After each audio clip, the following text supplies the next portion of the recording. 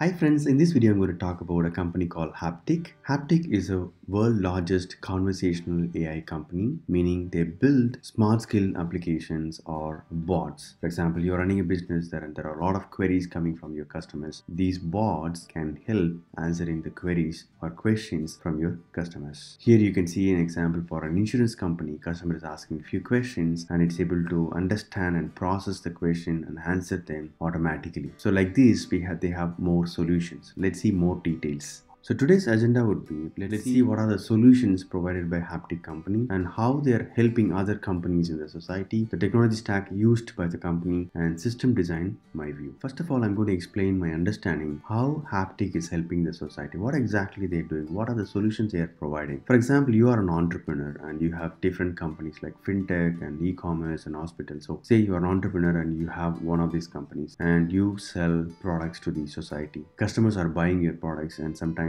you then have some queries. So customers are calling and you have a customer support department. So all these queries and questions are clarified by the customer support and everything goes fine. But the question is what if you have more customer calls? There is more number of customer support requires and these customer calls are growing a lot. There is a challenge here like in customer support because currently it's done manually plus using a software but it's not enough. So how do we handle that? So this is the challenge that Haptik tries to solve. So instead of keeping a department where 9 to 5, where people are available only from 9 to 5, and after that, if there are any customer calls or any queries, how do we handle them? So this is where Haptik provides conversational AI applications or smart skill applications or bots. Say you have an e-commerce company and there are a lot of products you, you're selling in the market and more queries are coming from the customer and regarding your product. So the bot can help the basic questions, standard questions and handle them in a consistent way. So there are a lot of benefits using bot. Cost saving, you are able to help your customers on time your brand value increases you are able to get more sales and you can support multiple languages and you can also analyze your customer behavior. So, so there are so many benefits you can get using a, a bot. So this is where Haptik plays an important role. They help companies to have custom bot to handle customer support and not only customer support hr related questions sales and marketing. So there are different departments Haptik can help you. Let's see some numbers how Haptik is helping other companies. For example government of india.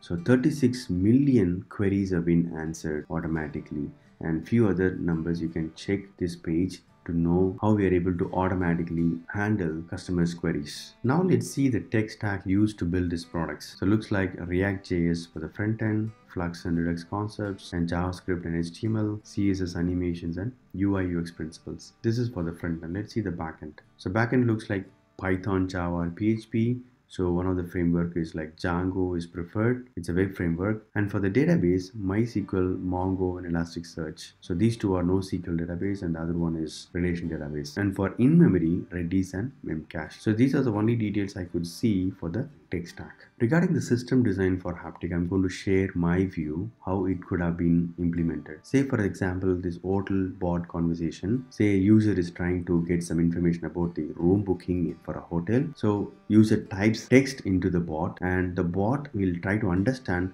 what exactly the user is trying to ask or query. Looking at the text, it will try to understand the context and based on the context, it will get the information from the from the database. So behind the scene there will be different types of flows will be there. According to the context the user is asking it will try to get the appropriate response. So you can see here this is what i can think of. So so what is the question they are asking? Like is the is the is the user is already a registered user? So it will try to get more information from the user trying to identify him trying to understand the query move on using this flow. So this is what i understood and i don't have much experience on bot development. I was going through few bot development. For example uh, how do i develop a bot in telegram using Python language. I was going through that. It was so interesting.